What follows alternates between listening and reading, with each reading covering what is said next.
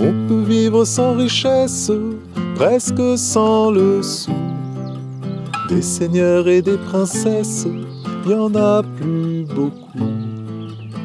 Mais vivre sans tendresse, on ne le pourrait pas. Non, non, non, non, on ne le pourrait pas. On peut vivre sans la gloire qui ne prouve rien.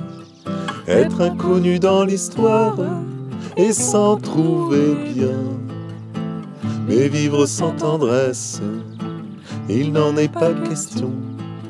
Non, non, non, non, il n'en est pas question. Quelle douce faiblesse, quel joli sentiment, ce besoin de tendresse qui nous vient en naissant. Vraiment, vraiment, vraiment, le travail est nécessaire, mais s'il faut rester des semaines sans rien faire, eh bien on s'y fait. Mais vivre sans tendresse, le temps vous paraît long, long, long, long, long. Le temps vous paraît long.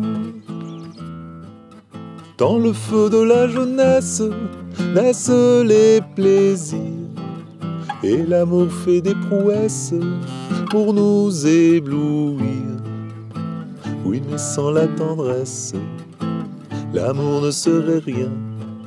Non, non, non, non l'amour ne serait rien.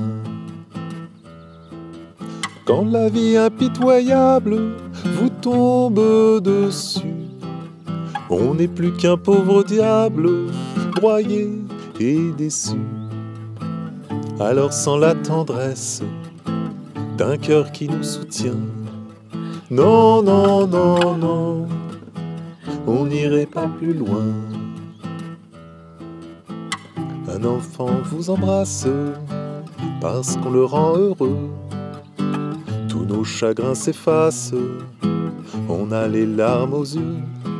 Mon Dieu, mon Dieu, mon Dieu, dans votre immense sagesse, immense ferveur, faites donc pleuvoir sans cesse au fond de nos cœurs des torrents de tendresse pour que règne l'amour, règne l'amour jusqu'à la fin des jours.